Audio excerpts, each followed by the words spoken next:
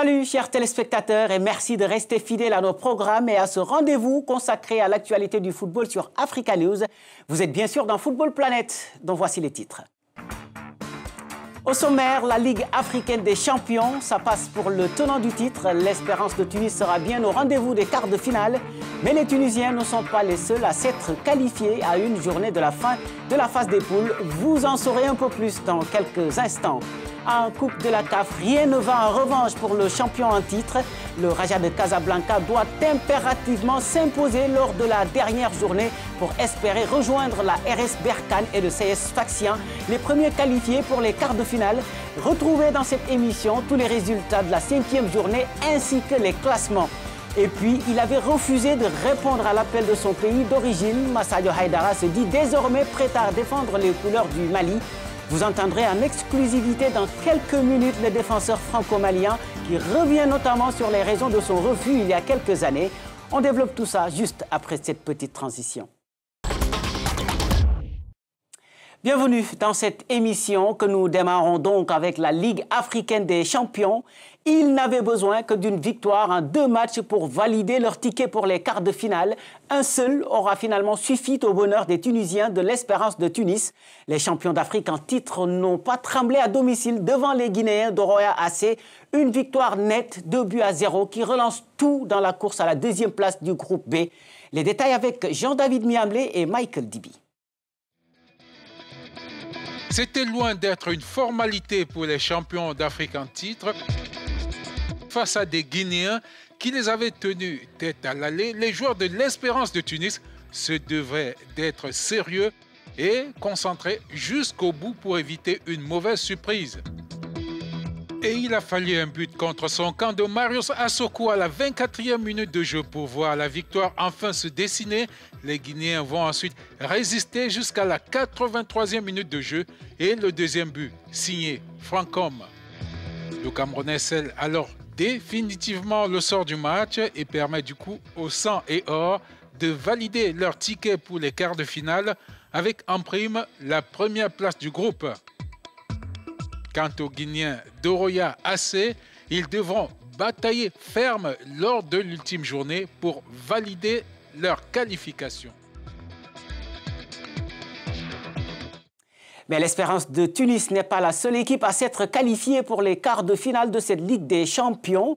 Les Mamelody Sundowns seront également du rendez-vous. Les Sud-Africains ont assuré leur billet en écrasant à domicile 3 buts à 0 les Nigérians de Lobistar qui disent adieu à cette Ligue des Champions. Le CS Constantine et le TP Mazembe ont de leur côté raté le coche. Les Algériens se sont inclinés à domicile devant le club africain alors qu'ils n'avaient besoin que d'un petit point pour se qualifier. Quant aux Congolais, ils ont été contraints au nul un but partout sur la pelouse d'Ismaili, déjà éliminé comme le montrent ces tableaux des résultats et des classements de cette Ligue des Champions.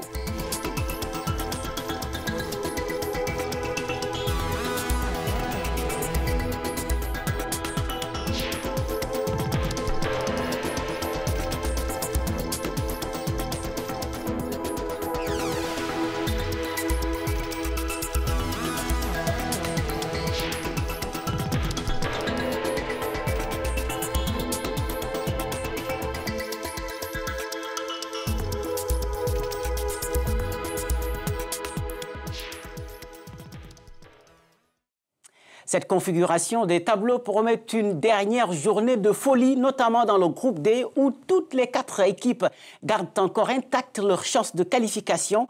Et c'est tant mieux pour le spectacle. Voici d'ailleurs les affiches de cette sixième journée à couper le souffle.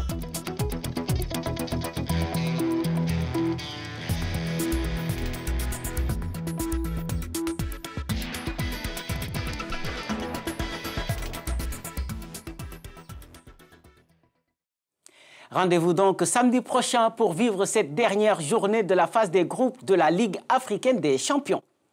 Dans l'autre compétition continentale, la Coupe de la CAF, le suspense est tout autant alléchant alors que les choses se compliquent pour le champion en titre. Le Raja Casablanca reste scotché à la dernière place du groupe A après son match nul, zéro but partout à domicile devant Hassania Agadir. Ça passe en revanche pour la RS Berkane et le CS Faxian, seules équipes à assurer pour l'instant leur qualification pour les quarts de finale tels qu'on le voit sur ces tableaux.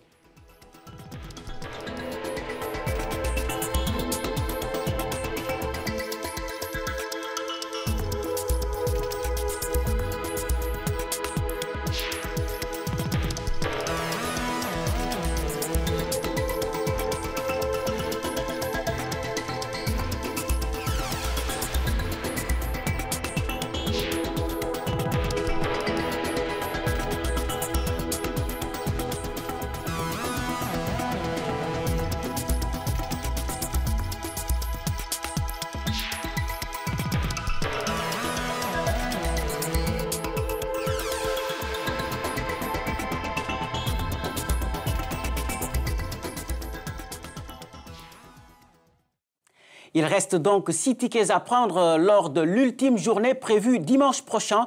Et c'est sur le terrain d'Oto Odoyo que le Raja va essayer d'aller chercher sa qualification. Un duel qui s'annonce passionnant, tout comme la plupart des affiches de cette sixième journée que voici.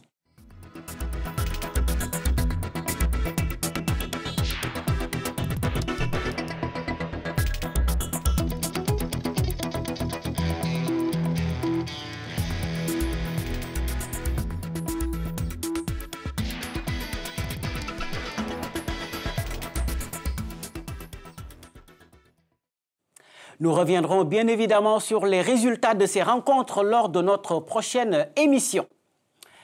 Faisons un petit détour en Europe pour parler de la Ligue des champions de l'UEFA avec la suite des huitièmes de finale.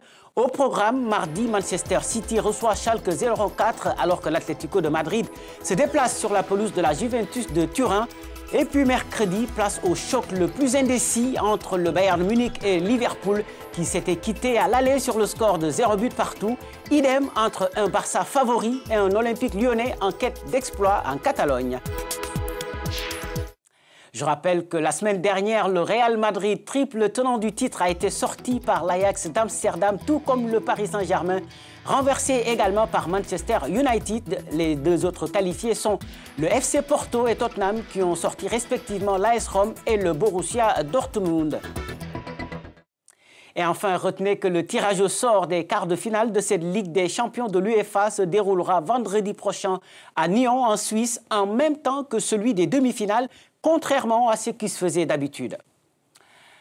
Retour sur le continent pour parler de l'Union des fédérations de football d'Afrique centrale qui fait sa mue après deux ans de léthargie. L'organisation a un nouveau bureau présidé par le patron de la Fédération équato-guinéenne de football avec comme difficile mission de relancer les activités de l'UNIFAC dans un contexte économique très compliqué. C'est un sujet de William Bahia et Elaine Wangaloa. Une nouvelle équipe dirigeante, de nouvelles ambitions après deux années de léthargie, l'Union des fédérations d'Afrique centrale veut repartir de l'avant. Une mission herculéenne avec une organisation où presque tout est à refaire. Mes ambitions, c'est comme je l'avais dit avant, il faut d'abord organiser les activités, les activités exportives. Et on n'avait pas beaucoup de représentation dans les organisations, les tournois U20, U23, mais à partir de maintenant, on va euh, faire une, autre dynamisme pour avoir beaucoup de représentants euh, au niveau comme les autres régions. Un autre dynamisme qui passe forcément par les moyens financiers notamment. Mais les nouveaux responsables de l'UNIFAC pensent en avoir assez pour entamer la relance de leurs activités. La Confédération africaine de football qui nous a, pour l'année écoulée, doté de 400 000 dollars. Euh, nous attendons également une dotation de la FIFA. Donc euh, il n'y a pas de raison à partir de ces dotations que notre zone ne puisse pas fonctionner au même titre que les autres zones qui fonctionnent bien telles que la, COSAFA, la SACAFA et la zone de Pour l'UNIFAC, le plus dur reste à venir. La nouvelle équipe n'a que deux ans pour tout changer. Je vous le disais en titre, alors qu'il retrouve le bonheur sous les couleurs du Racing Club de Lens, Massadio Haidara espère vivre les mêmes émotions avec les Aigles du Mali. Approché par son pays d'origine il y a quelques années, le défenseur franco-malien avait pourtant décliné l'offre, préférant, selon beaucoup de gens, attendre une convocation avec l'équipe de France comme la plupart des joueurs binationaux. Mais le joueur de 26 ans donne d'autres raisons pour justifier son refus. Regardez. Je n'avais pas pris euh, de décision finale J'étais encore très très jeune à l'époque où le Mali m'a sollicité pour, euh, pour les premières fois. Donc euh, voilà, j'avais pas encore euh, d'idée fixe et j'étais pas encore fixé sur, sur, mon avenir international. Donc j'avais continué, j'avais laissé le temps de faire ma progression se faire normalement. Et voilà, après avec le temps et, le Mali a beaucoup évolué les, dernières années aussi. Et voilà, donc j'ai eu des discussions avec les représentants de la sélection malienne qui m'ont convaincu. Et, voilà, aujourd'hui, euh, je serais très content de faire partie de ce groupe. Mais c'est désormais de l'histoire ancienne. Le joueur qui avait déjà donné son accord pour aborder la tunique des aigles dit désormais attendre un nouvel appel du coach malien et espère surtout jouer la prochaine Coupe d'Afrique des Nations. Suivez. Le sélectionneur il fait, fait, appel à moi. J'avais répondu favorablement à la sélection précédente. Malheureusement, je n'ai pas pu l'honorer parce que euh, j'avais eu un problème musculaire. Et donc euh, j'ai dû rester ici à, Lens pour, euh, pour me soigner. Et voilà, après, pour le moment, je n'ai pas reçu. J'ai pas reçu la convocation pour la prochaine, donc, euh, donc je sais pas, mais c'est clair que si je suis, j'y répondrai favorablement et, je serai content d'y aller. si j'ai si la chance de, de, faire partie du groupe, ça serait, serait avec, avec joie et fierté de, de pouvoir représenter les couleurs d'origine de mes parents, euh, de mes deux parents et de moi-même. Donc euh, oui, je serais, je serais très content. Et après, voilà, je pense que le, Mali a des ambitions de, gagner la Cannes et, ils ont l'effectif pour. Donc, euh, donc ouais, c'est clair que le Mali sera un, prétendant au, au, titre. Donc j'aimerais bien en faire partie aussi. Et c'est cet élément qui siffle la fin de cette émission que vous pouvez retrouver sur notre site web www africanews.com. Vos avis et suggestions sont également attendus aux adresses qui s'affichent en ce moment même au bas de votre écran. Philomène Balen sera là la semaine prochaine. Quant à moi, je vous donne rendez-vous dans trois semaines. Au revoir.